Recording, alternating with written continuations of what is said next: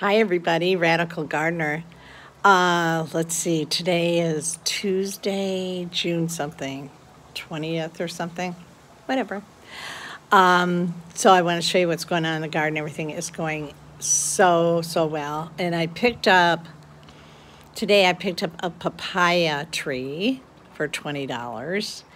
And what else? A really cool cactus.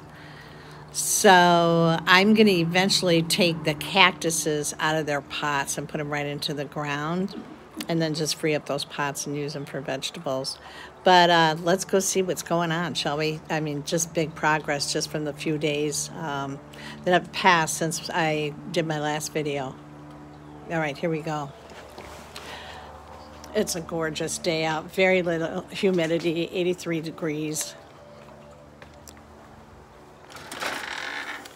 My beans here, they're cranberry beans, they're flowering and you can see beans are starting to form on them. And I just uh, fertilized. I, I have a great setup now for fertilizing.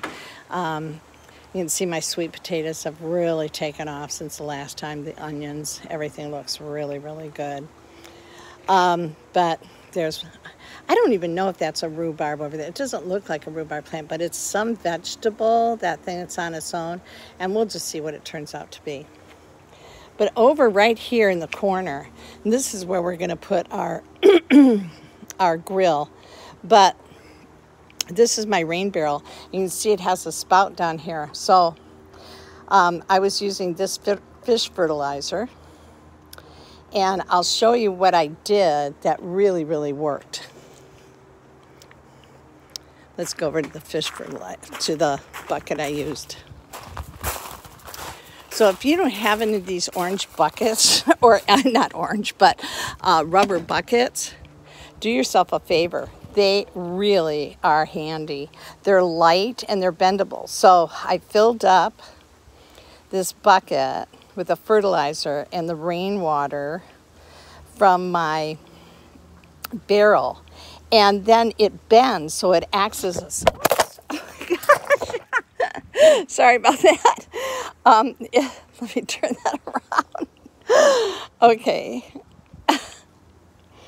So it acts as a spout. It really worked. So that's my tip is get a couple of these rubber buckets because they are pliable and they're great for pouring. Oh branch fell on my onions. The onions are picking up. Again, the scallions are much happier than my onions are. But the onions are, they're, you know, they're making some progress. Here we go. See how nice everything looks. Kale, more kale arugula, celery. Whoops.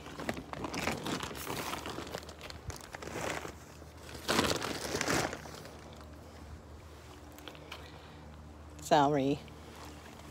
I don't know, label fell off. I need three hands. There we go. Lettuce, that's not going to do well. But I have something I'm going to plant there instead. It's called a cu, cucumin, something like that. And it's a combination of cantaloupe and watermelon. And again, I'll go vertical. Carrots, parsnips. I, last time I showed my kale here, there's a lot of it in this, in this uh, pot. Um, I called it Thunderhead, but it's Thousand Head kale. And um, you can see some bugs are, you know, eat it a little bit, but see, it's not too bad though. My tomato plants, still looking good, still flowering, just fertilized it.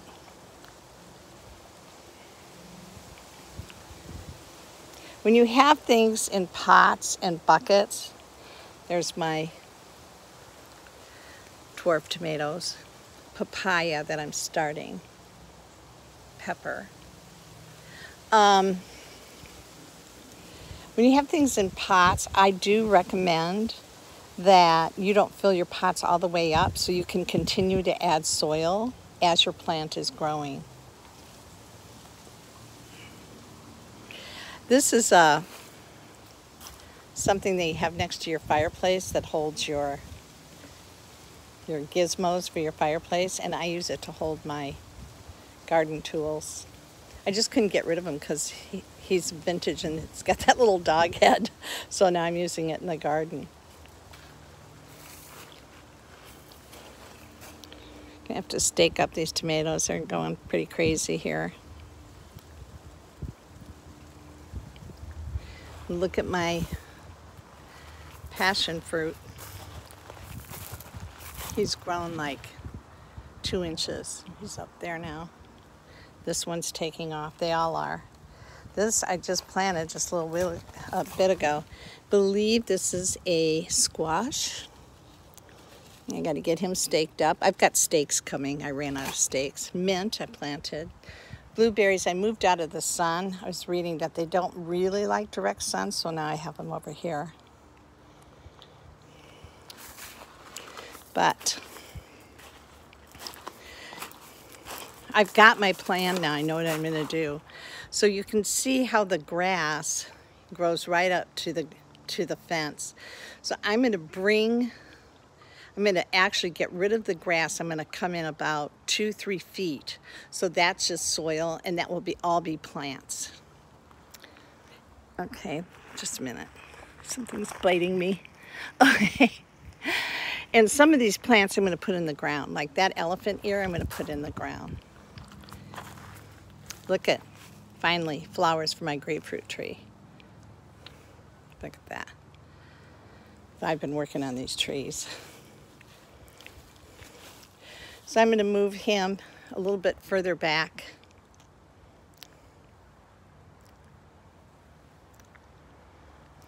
Look at my oh, okra. he exploded. Isn't he beautiful? Isn't that the most beautiful plant?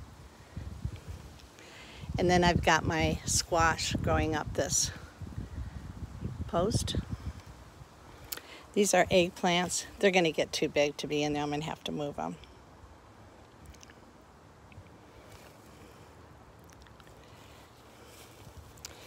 So now we're waiting for, oh, this is the grapefruit. That's the tangerine. So we're waiting for this. I think this is just a slower growing tree.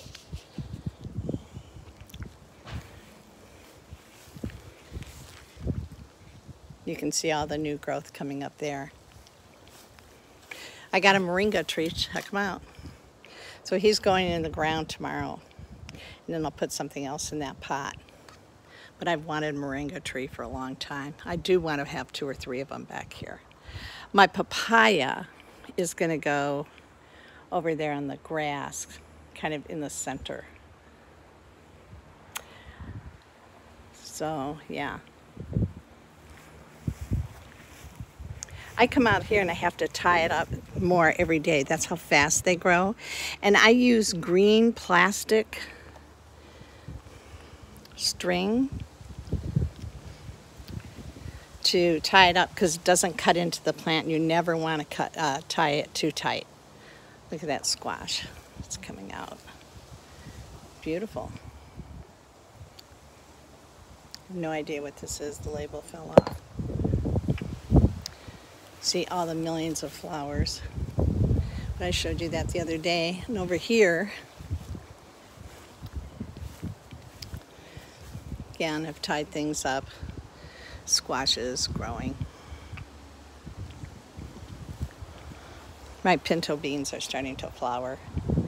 And my figs are starting to really look pretty good.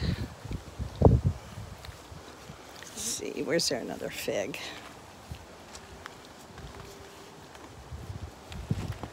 There's a bunch of them, and now that I'm looking for them, I can't see them. There they are. So I'll put my papaya tree here.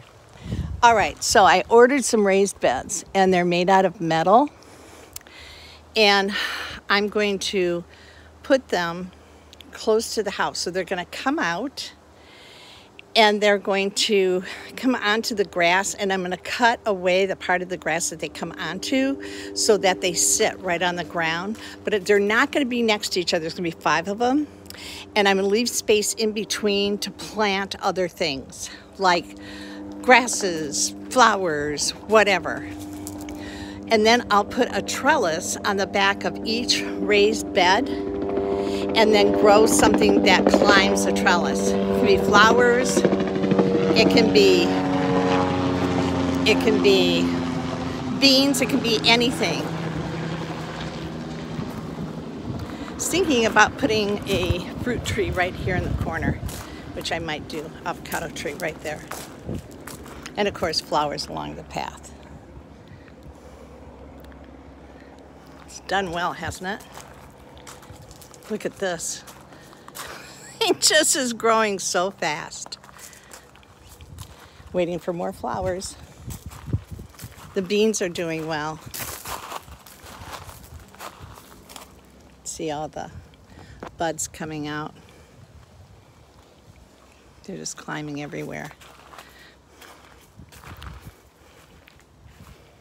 Dwarf tomato plants. Doing really well.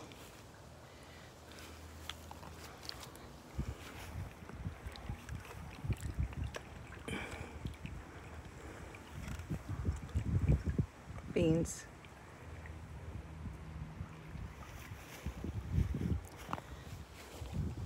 Started to clean out the rocks here and we put them over against the fence because there's a big gaping hole between our property and that. And a lot of times you'll get critters running underneath, so we're blocking that. Almost time to pick that watermelon. Those peppers are getting nice and fat. And time to use some of these herbs.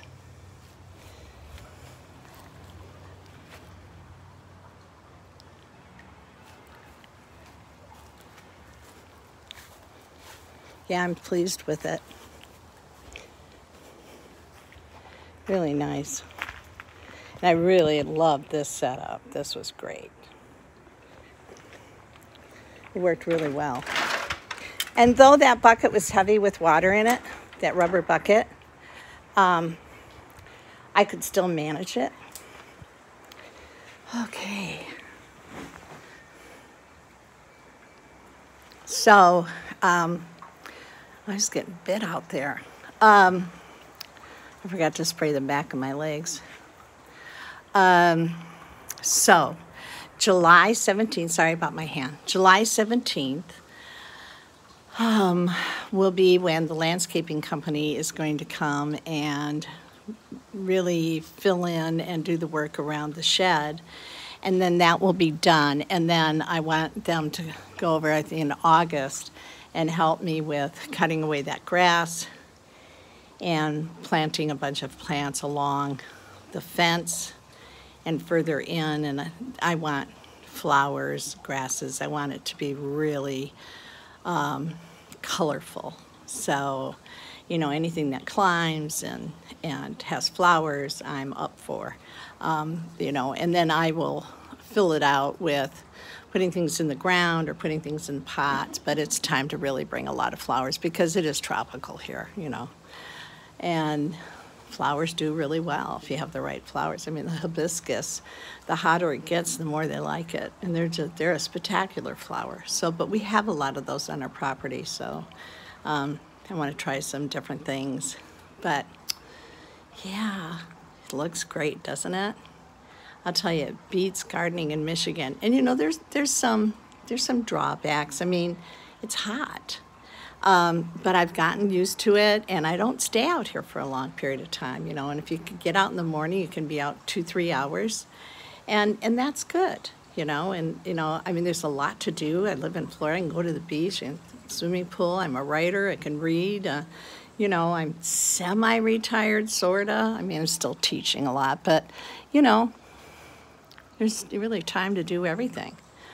So, yeah, you guys, gardening's where it's at. how can you ever get tired of watching food grow? I just don't know. Or watching flowers open up and bloom, or watching bees fall asleep in the middle of a flower. I mean, it negates all drama. It really does. Well, anyways, Radical Gardener, from my garden to yours. May your garden always grow. You know I'm sending you a ton of love, don't you? Okay, goodbye.